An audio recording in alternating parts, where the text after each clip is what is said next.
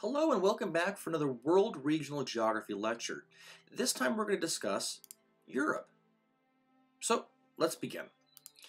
Let's introduce the realm of Europe. Now Europe is a continent of peninsulas, islands, and other landforms. The Gulf Stream is the most important current for Western Europe's climate. And speaking of climate, I've got this map in the upper right hand corner that you can observe.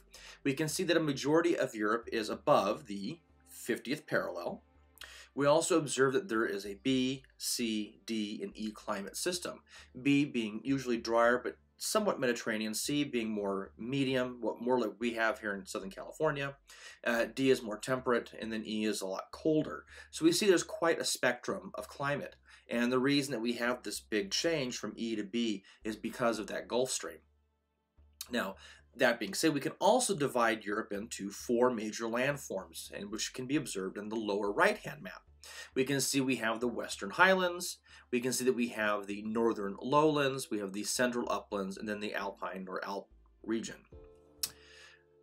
Now, speaking more on a biological level, uh, Europe itself is, as a continent, 40% uh, of the continent is covered in forests. A majority of that is still over on the Russian side which will be a different uh, video on itself.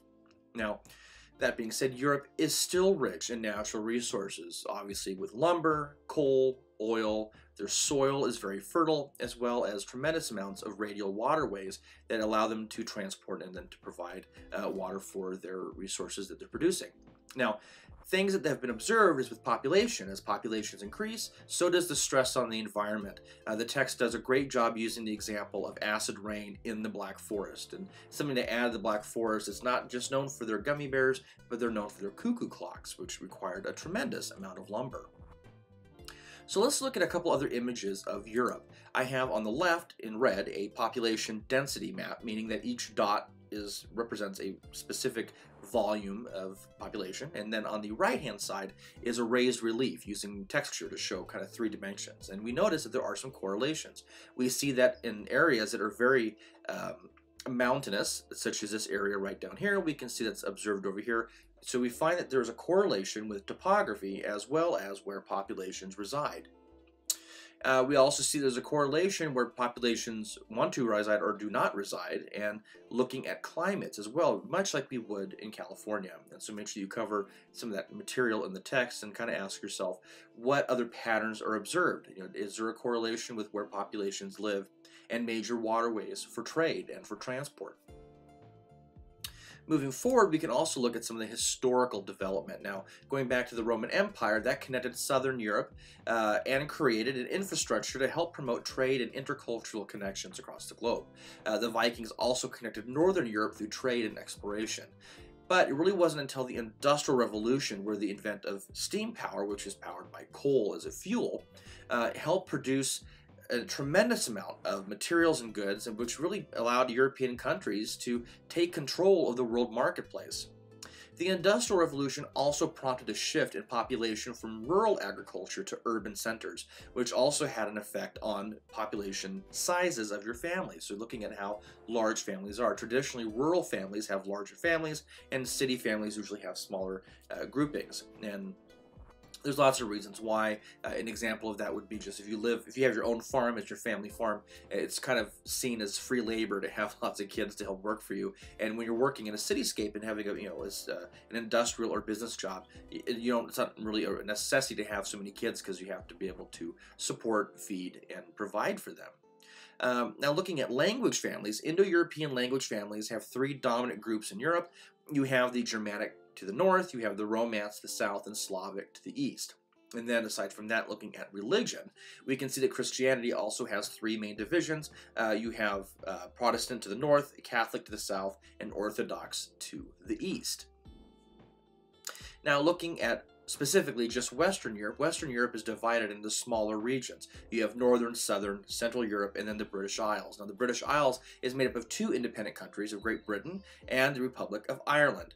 Uh, Great Britain can also be divided into five smaller uh, regions as well. Now, since World War II, many of the states in Western Europe have been evolving into more independent economies and realms. Uh, each nation has worked to develop its own economy, which takes advantage of the realm's physical geography, resources, as well as the culture. Now, the Eastern Europe has a little bit of a different story. So after World War II, Europe was divided from west to east by the Iron Curtain.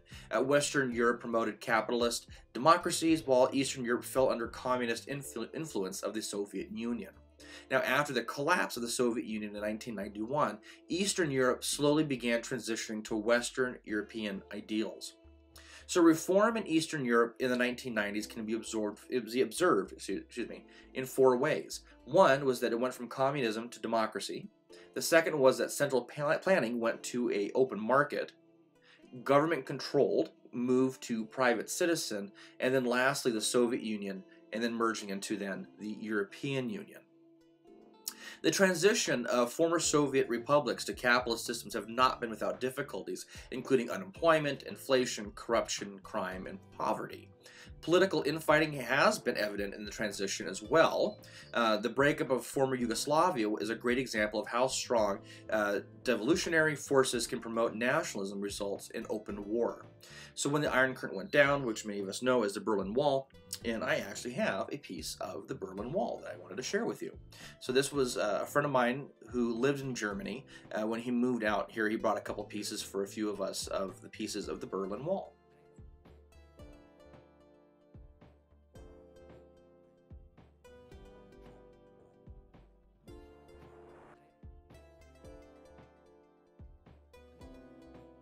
So let's test your European knowledge. Here's some four questions that come from the reading as well as from the video and see if you can plug in your own answers. The first one is what are the largest countries in Europe based on population? The second question is when did the Industrial Revolution begin? The third question are some of the character, uh, characteristics of European cities can be or are. And then the final question are what are the major physical geographic qualities of Europe?